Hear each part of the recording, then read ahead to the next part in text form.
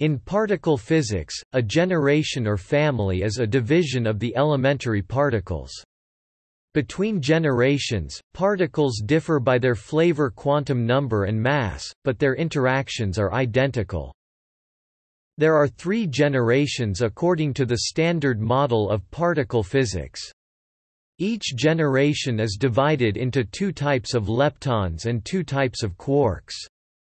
The two leptons may be classified into one with electric charge minus one electron-like and one neutral neutrino-like. The two quarks may be classified into one with charge minus one third down type and one with charge plus two thirds up type.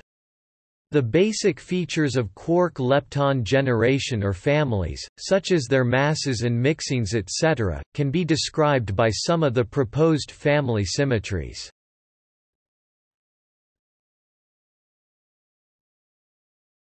Topic Overview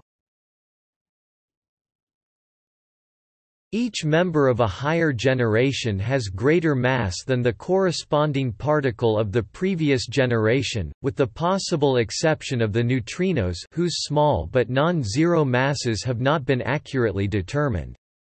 For example, the first-generation electron has a mass of only 0.511 MeV, C2, the second-generation muon has a mass of 106 MeV, C2, and the third-generation tau has a mass of 1777 MeV, C2, almost twice as heavy as a proton. This mass hierarchy causes particles of higher generations to decay to the first generation, which explains why everyday matter atoms is made of particles from the first generation. Electrons surround a nucleus made of protons and neutrons, which contain up and down quarks.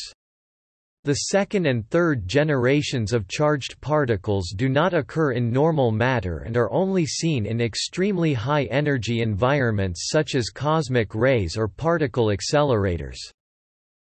The term generation was first introduced by Haim Harari in Les Houches Summer School, 1976. Neutrinos of all generations stream throughout the universe but rarely interact with normal matter.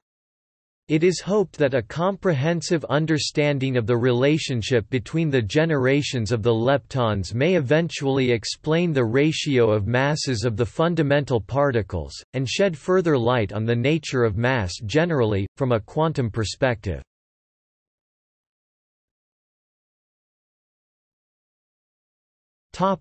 Fourth generation Fourth and further generations are considered to be unlikely. Some of the arguments against the possibility of a fourth generation are based on the subtle modifications of precision electroweak observables that extra generations would induce. Such modifications are strongly disfavored by measurements.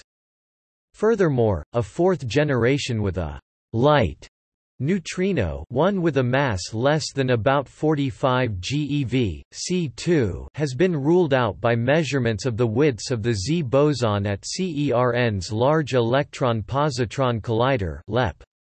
Nonetheless, searches at high-energy colliders for particles from a fourth generation continue, but as yet no evidence has been observed.